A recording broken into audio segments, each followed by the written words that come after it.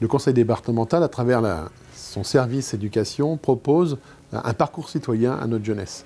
Donc ce parcours citoyen, il peut être aussi bien euh, pour euh, tous les aspects environnementaux.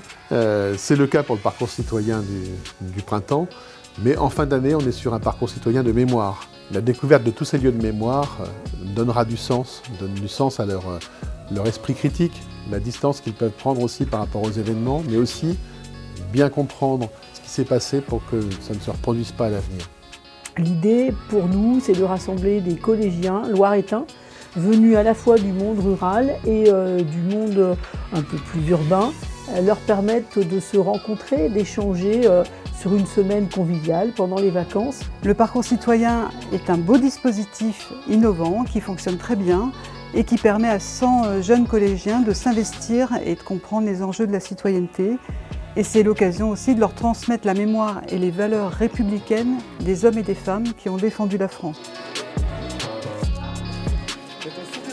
Alors la France libre représente tous les gens qui se sont engagés à partir du 18 juin 1940 et de l'appel du général de Gaulle pour combattre pour la libération de la France. Et la Fondation de la France libre existe depuis un peu plus de 20 ans. Et son rôle, c'est de témoigner pour nos anciens qui ne sont plus là de ce qu'a été leur combat pendant la Seconde Guerre mondiale. Alors le premier soir, ils sont trois. Il a son aide de camp avec lui, un lieutenant, puis une dame qui est venue euh, taper euh, le texte de l'appel du général de Gaulle. À la fin de la guerre, ils seront à peu près 60 000. Et dans le Loiret, parmi ces 60 000, il y en a à peu près 350.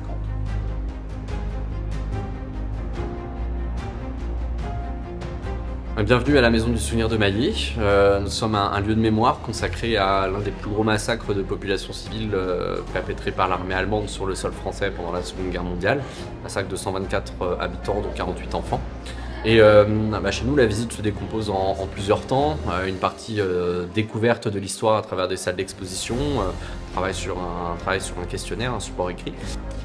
Du 6 juin 1940, les Alliés, les, Français, les Anglais, les Américains, les Canadiens débarquent en Normandie. Et à partir de là, dans la France entière, il va y avoir une multiplication des actions de résistance, puisque les, les résistants, ces Français qui s'opposaient aux Allemands, essayent de désorganiser, retarder au maximum les Allemands. Il y a beaucoup de gens, encore aujourd'hui, qui disent que c'est à cause de ces sabotages, donc c'est à cause de cette fusillade qu'il y a eu le massacre. C'est pas l'hypothèse que l'on défend à la Maison du Souvenir. On pense pas que le massacre soit exclusivement lié à ces actions de résistance, on pense que c'est plus compliqué que ça, mais il y a beaucoup de gens qui disent ça encore aujourd'hui. Ce qui s'est passé à Maillé, c'est un massacre, et c'est précisément ce qu'on appelle un, massacre de population civile. Que les Allemands, ils avaient juste envie de décimer les gens, français. Euh, bah, que la guerre, ça a vraiment été un carnage pour moi. Ça fait un peu peur. C'est triste, surtout en vrai. Aussi euh, de la tristesse pour les habitants. Ouais, de la peur et la tristesse. Ça fait de la peine à entendre parce que ces gens, ils ont dû avoir énormément peur. souffrir surtout, ils sont tous morts.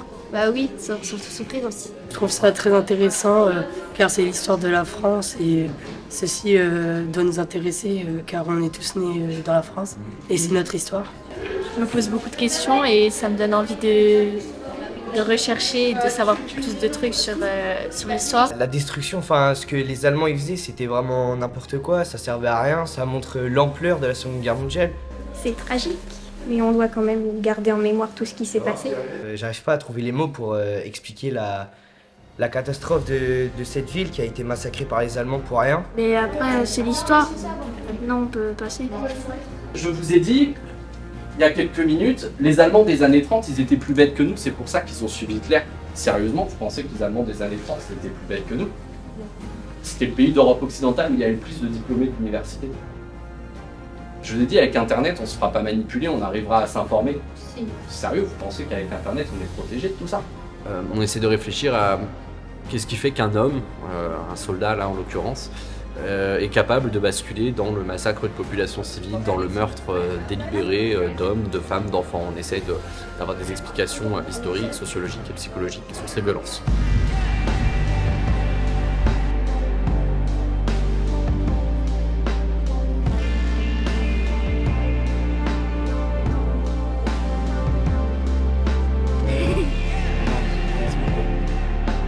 Près de cet étang, vous aviez le maquis et dans ce maquis, on avait à peu près 300 à 500 hommes cachés dans la forêt. Alors là, ce groupe, c'est un premier groupe qui a été conduit dans la forêt. Parmi eux, vous, donc, vous avez Jean Goua, Vous avez aussi Maxime Renault, comme je vous disais tout à l'heure, ce sont les deux gardes forestiers du carrefour de la Résistance. Ils sont morts les deux? Tout à fait, ils ont été exécutés. Donc ce matin, on a accueilli le, le troisième groupe de- du parcours citoyen. Euh, et on a découvert ensemble l'histoire euh, liée à ce lieu de mémoire du carrefour de la résistance, donc euh, l'engagement de, jeunes hommes dans la résistance, et puis malheureusement l'attaque par l'armée allemande euh, qui a donc causé euh, des dizaines et des dizaines de morts. Et donc avec les jeunes, euh, on est allé sur les lieux de, ces combats, de ces exécutions, pour découvrir aussi à la fois ce qui s'est passé dans le passé et aujourd'hui euh, bah, comment vit ce lieu de mémoire, comment est-ce qu'on se souvient du sacrifice de ces gens.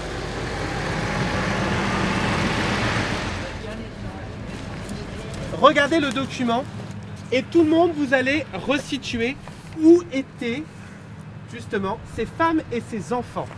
Faut que vous retrouviez le même, ça ce sera place de... Est-ce que vous voyez un arbre? Des arbres? Est-ce que vous apercevez une grande cheminée derrière? C'est la sucrerie. Maintenant, regardez cette entrée. Voici l'entrée de l'ancien camp. Est-ce que vous voyez le portail ouvert qui donne sur un garage ouvert blanc? Devant, il y a un trottoir. C'est l'emplacement de cet ancien poste de surveillance à l'entrée, le poste de garde. On va faire un calcul collectif. Une baraque fait 30 mètres par 6 mètres. Calcul de superficie en 3 secondes. 30 mètres par 6 mètres. Vas-y. 180 mètres carrés, bravo. Ils ont été jusqu'à 200 barbaraques, donc ça fait combien par mètre carré? Un peu Un, peu plus de. Un peu moins. Pithiviers, c'est dans le Loiret, pas loin d'Orléans. C'était quand même un camp où on ne donnait rien à manger. Vous entendez lorsque je dis rien, ça veut dire presque rien. Le presque rien veut dire aussi que le matin, nous avions juste un bol d'eau chaude appelé café. Je vous lis bien fort à tout le monde. À Pithiviers, les Juifs font du camping, trois petits points forcés. Quand vous lisez ça et que vous n'avez pas d'éléments de critique, quand vous dites ils font du camping, c'est positif, négatif? Levez tous les yeux, regardez-moi, pour bien vous situer. Vous voyez tous les rails là devant vous? Oui. Ils ont été conduits de nuit, escortés. Vous vous souvenez tout à l'heure, je vous ai dit voiture, wagon. À votre avis, ils vont prendre quoi là? Des wagons. Quel est le problème d'être déportés avec des wagons? Comme de la marchandise, exactement, c'est une très bonne remarque, t'as raison, ils les associent à des marchandises de la bétail.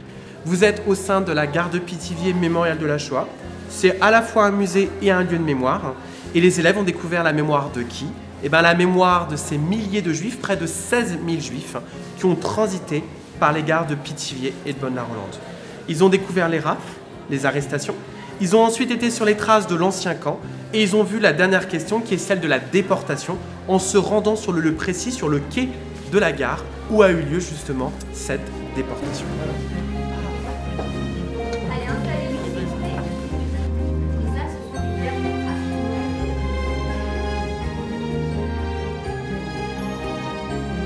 Donc aujourd'hui, on accueille un groupe au CERCI, musée mémorial des enfants du Veldiv. Donc dans ce musée, on parle de l'histoire des trois grands camps d'internement qui ont existé euh, dans la région, à savoir les camps de Pithiviers et de Beaune-la-Rolande, qui sont deux camps qui vont interner exclusivement des juifs pendant la Seconde Guerre mondiale, et le camp de Jargeau, qui lui va accueillir majoritairement des nomades. Donc nous, notre musée, il a été créé en 91, euh, sous l'impulsion notamment d'Hélène Moucharzé, hein, puisque l'histoire des camps d'internement euh, du Loiret a été complètement euh, oubliée jusque dans les années 90. Et donc ici, notre mission, c'est vraiment de parler de l'histoire de ces trois camps, mais aussi de faire de la collecte et de la recherche autour des archives et des parcours de famille. Euh, J'ai appris des choses que je savais pas. Bah, ici c'est super bien parce qu'on apprend plein de choses euh, sur euh, la guerre, sur euh, les déportations. Dans tout ce que j'ai vu dans la semaine euh, sur la guerre, ce que je retiens le plus et ce qui m'a plus marqué, c'est euh, la mort des enfants. Enfin, vraiment, faut se souvenir. Faut... C'est pour ça que j'étais venue aussi. C'est faut se souvenir de tout ça pour euh, que ça se reproduise plus jamais. Enfin, On a adoré le séjour, c'était vraiment super. On s'est bien amusé malgré les, les choses euh, super tristes, mais on s'est super bien amusé. Trop top Aujourd'hui, vous êtes dans l'un de nos jeux de pistes, créé pour l'occasion qui s'appelle Le Dernier Refuge.